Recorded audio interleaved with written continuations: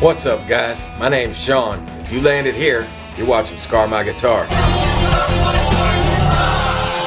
It's been raining like crazy here, and I can't run the CNC when it's raining because the power goes out in Florida. Can't really run the power tools when it's raining either because you have to have the door open, and the dust in here will kill you if it's closed. I could probably straighten out some of these shelves around here. They sure do need it. That toolbox is pretty messy. I should probably straighten that out, huh? But all that stuff really sounds kind of boring. Yeah, I think we should probably just grab old Kathy right here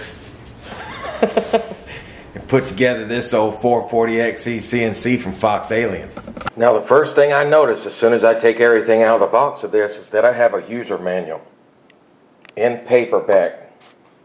That is a very good thing. Also have a package list of all the parts with a picture of each one. Which again, in my mind, is a big plus. Now to start this job off, we're going to need our base, the wasteboard, six M5 20 bolts. I've got the necessary screws and your standard 4 millimeter Allen wrench. Let's get them in there.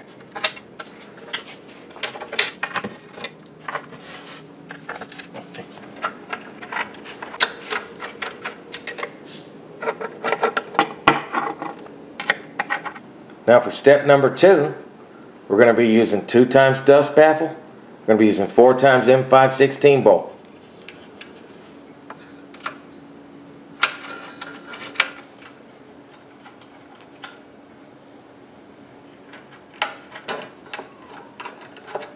Now I think these dust baffles are an excellent little touch to this machine. And now for part number three, we're going to go to the gantry. We also need four times the M512 bolt, four times the M5 spring washer, and four times the M5 regular washer. Now what I'm going to do is I'm going to take my gantry, I'm going to get my Y axes, and I'm going to get them pretty even together. And I'm going to put that in there like that. It's got a little screw here that tightens up the bands.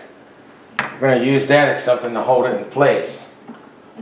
Put that down there like that. It'll stay up there by itself. We're going to use our standard 4 millimeter wrench again. But I just wanted to show you. Our spring washer is towards the head of the nut. We want the big washer on the outside.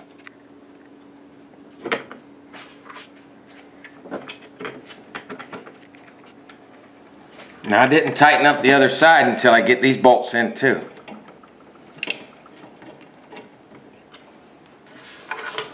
That way I'm not moving anything or breaking anything. I got a little wiggle room.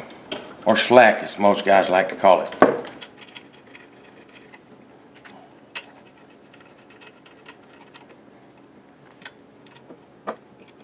Man, we're moving right along. Step number four is going to require the Z-axis assembly and four M525 flathead cap screws. And for this, we're going to be using the 3 millimeter Allen wrench included in the package. Now go ahead and tighten this down so it can hold it in place, but not completely tight.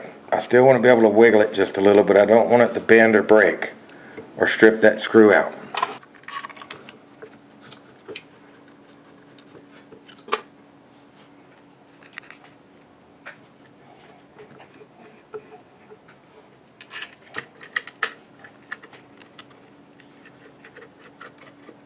We're going to do steps five and step six together.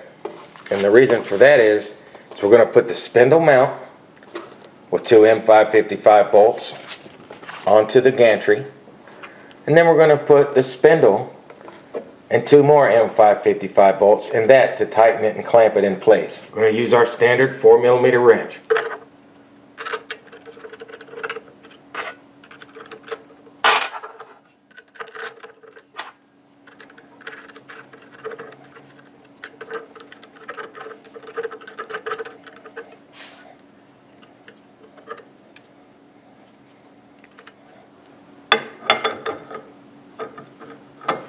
Now for the height on this thing, I'm just going to let it sit right on this. If I pull it up too far, it won't go all the way down with the bit. Say my bit only comes out to here, but doesn't go all the way down to the workspace. Just going to let it sit there. We got plenty of clearance to come up. I'm going to straighten it up as best I can and tighten it down.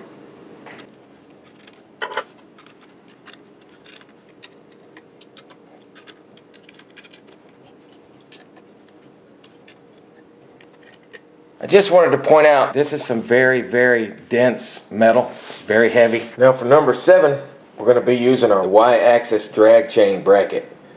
Number 18 Y-axis drag chain bracket and four times the M566 bolt. For these bolts, we're using our standard 4 millimeter wrench.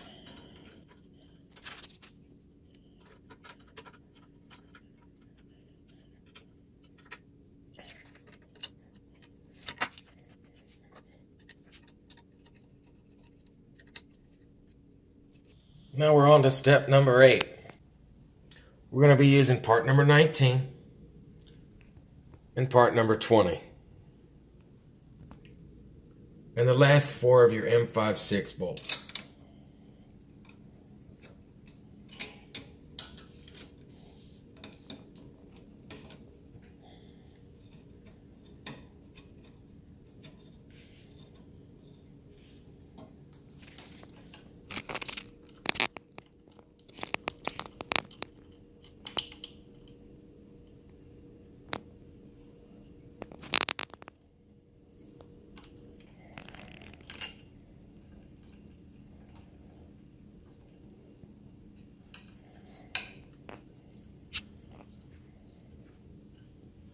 Next, we're going to be connecting the drag chains.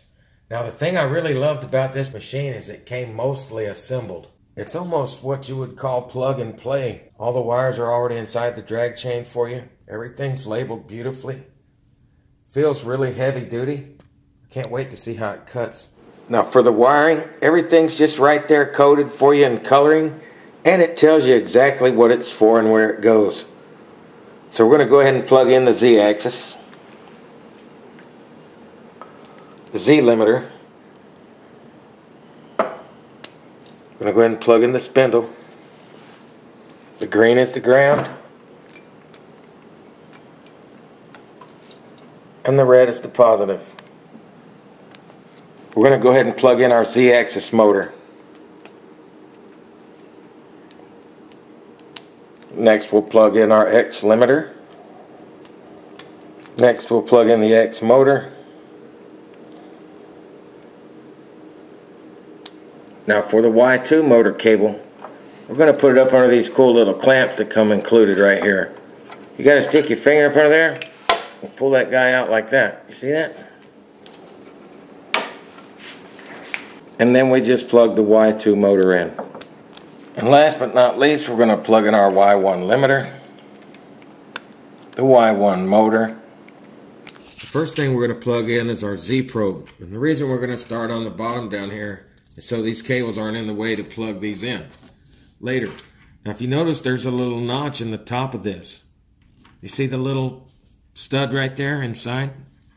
If you can see that little notch on these, you can pretty much turn them over and get them to slide right in. You're not twisting them around a whole lot.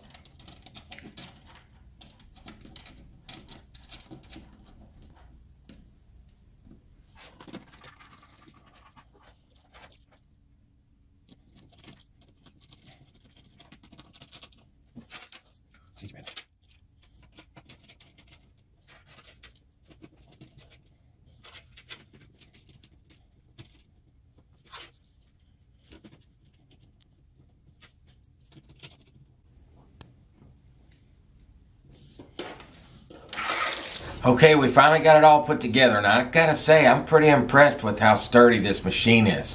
I really like getting this manual. Every other one I've bought didn't come with one of these. It came with some instructions to go online, some poor pictures. This was a really nice change. Now, I know you're probably wondering why I got this machine from Fox Alien and what they would give it to me for. Well, they didn't just give it to me. I had to pay good money to get it. But for a review, they're going to let me give one of these bad boys to one of my lucky subscribers. Somebody's going to win one of these machines.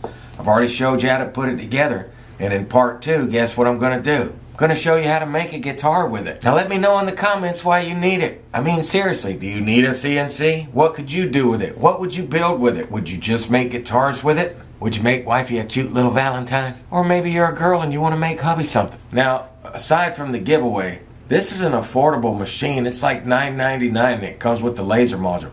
Now we didn't install that this time because we're going to do that in a separate video.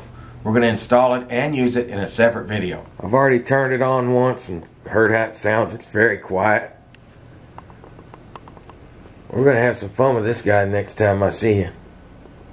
But I just want to thank you guys for watching. And if you get a chance, share a brother's video. You know what I'm saying? But until next time, don't you touch my Scar guitar what it's worth.